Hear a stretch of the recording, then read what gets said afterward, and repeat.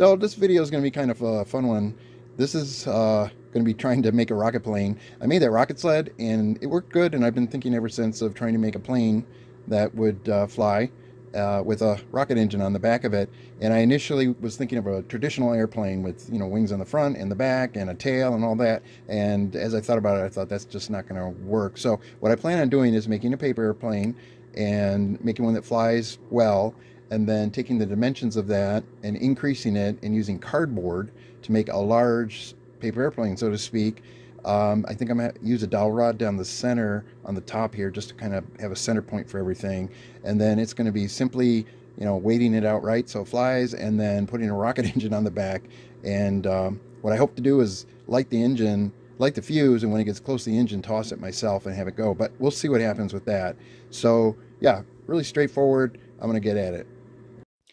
I'm starting this project by cutting up a large box I got from Walmart and uh, I'm going to use these large pieces to make both the wings and then the horizontal stabilizers. Trying to get the best dimensions for this cardboard here. I made a couple paper airplanes, haha, and uh, to see which one just held itself better when it's thrown from behind, where the rocket engine would be, um, and uh, be able to tolerate the speed of a rocket engine. Of course, the narrow design worked much better. So I'm going to use the dimensions of this paper airplane. This is the conversion that I um, have used. One inch of the paper airplane right here is three and five sixteenths inch on the cardboard. And I then went and figured the dimensions for the rest of the paper airplane. And so this is right here. You can see the pencil lines. This will be the wing, the main wing on top, which is actually the same dimensions as this one. Well, I'm just holding this in place, not very well, because there's that dowel down the middle. But I'm going to have to fasten it somewhat like this um, and uh, probably use a combination of hot glue and zip ties. I finished gluing the bottom on, and it's really holding sturdy. I was going to use zip ties, but um, we'll see about that.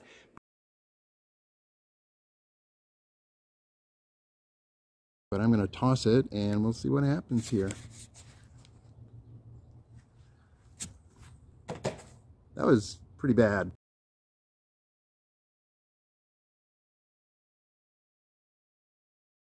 I'm going to try and throw this thing hard. Ah, there's a couple ways I could fix the problem by it being tail heavy. One is, of course, to add weight on the front, but instead, I think what I'm going to do is add some flanges on the side here to give it more wing. Combination of tape glue and popsicle sticks, I put these on. Before I launch this by hand, and while I'm testing to see how to set it up the best, I'm going to make a launcher here. This is basically a piece of wood that I covered with 38 gauge uh, aluminum foil so that it's smooth. Instead of sanding it, I just covered it. It's very slick. And then if I set two of these up like this, then I'll have the ability to set this down in the center like so. So I have it propped up on one end, which is what I want. I just put two screws on either end of those boards. And then I'd like to put these every six to eight inches or so up the uh, bottom here. That way a post could fit into this, hold it steady on the board, and then have a pointier end in the ground to uh, change the height and experiment. Now the hopes are this thing will just take off like so. I'm going to have to fly it at some point because I have no idea how it's going to work with uh, a rocket engine on it. I decided to paint the whole thing silver. I'm done. Okay, I got everything set up and um, that's actually pretty darn steady holding this rocket plane in place. This is a B as in boy, 6'4", so it's not that strong. Okay, here we go.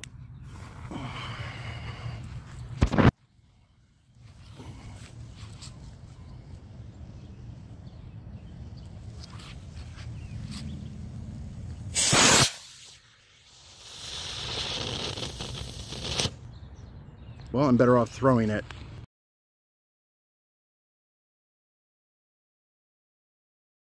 So I covered the back of this with some aluminum uh, that I bent around and then held it in place with aluminum tape. That should take care of the problem. Different day, I've upgraded the B6.4 to a C6.5.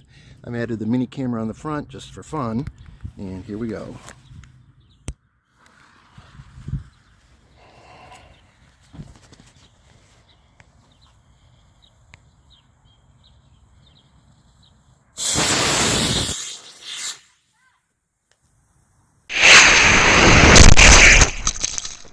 Well, the aluminum worked to save the back here. So um, I think my next step is actually to go up to one higher rocket engine. So the camera got ripped right out of there. it was glued in there well, but it, uh, it actually tore the cardboard to end up on the ground. This is part of a PVC. I cut out a section on the bottom so that it fits around the camera. You can see how I just glued it there. It's the same as on the other side. And the camera is Velcroed in here. A D12-3 engine is now attached for the next test.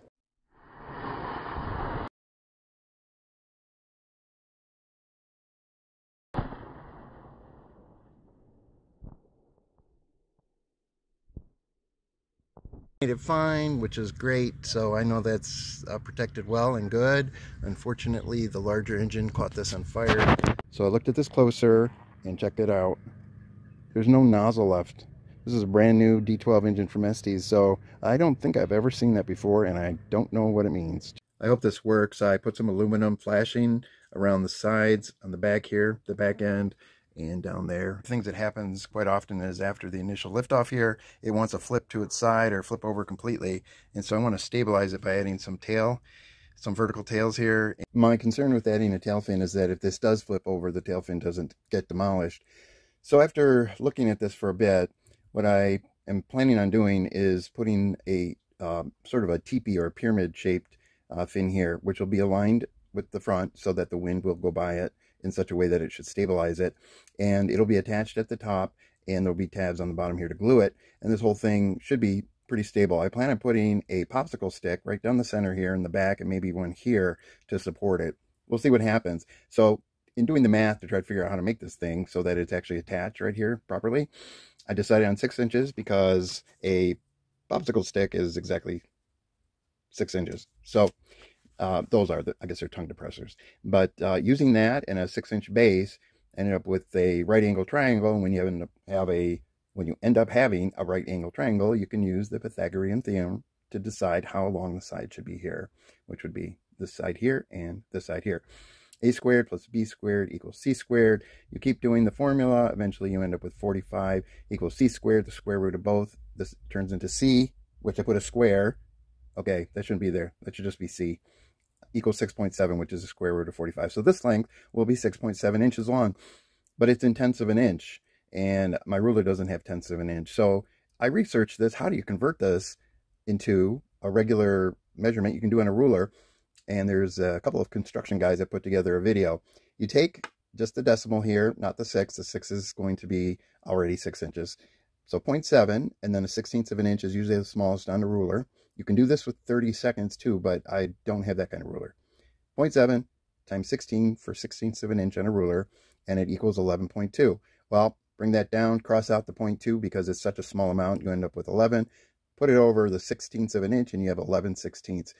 The closest measurement to 0.7 inches is 11 sixteenths of an inch. So 6.7 inches equals 6 and 11 sixteenths inch, 6 and 11 sixteenths inch.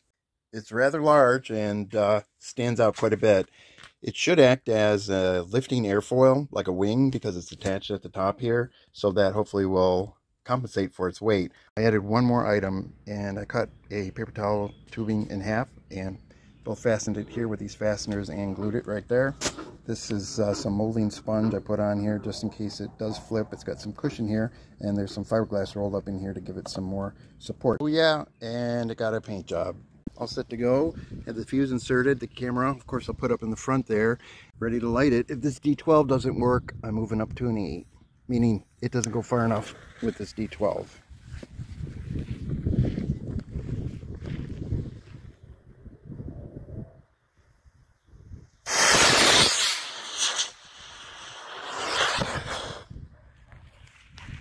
Well, kind of came back like a boomerang.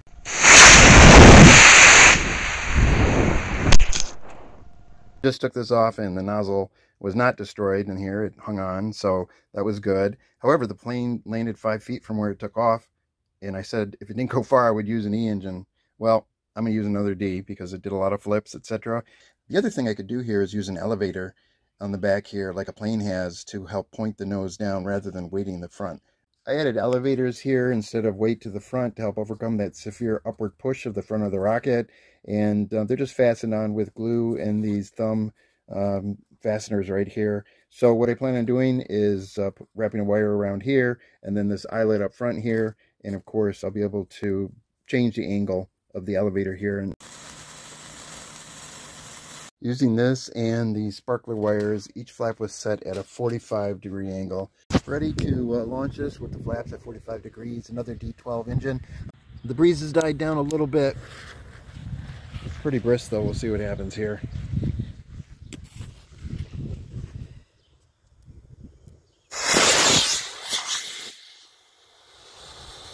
the uh, flaps definitely helped, maybe too much. I did throw in a quick clip about this. I was driving by a place called Sun Outdoors Research and Innovation Center. Never seen it before. And they have these enormous silver airplanes, which is what I started with with this project.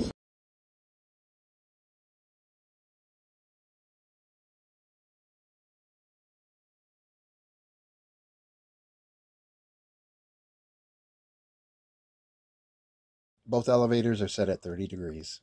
Ready for another launch with the D12 here and uh, flaps are set at 30 degrees. Ready to go. I did put the camera in the front of this one.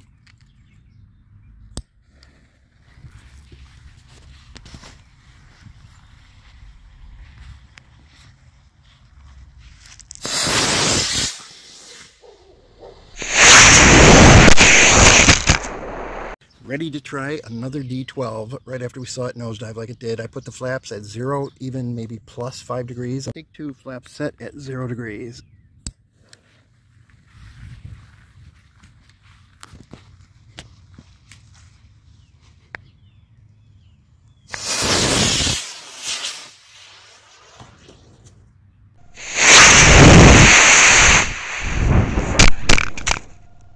Lot of smoking, but everything looks fine, and I think the flaps will need to be set maybe at 5 to 10 degrees. Flaps are set at 15 degrees. I put a D12 engine on. Let's see what happens.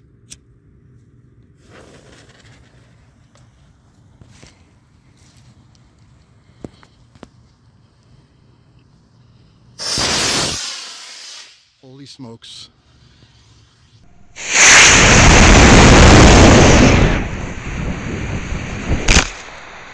Those D12s do some real damage.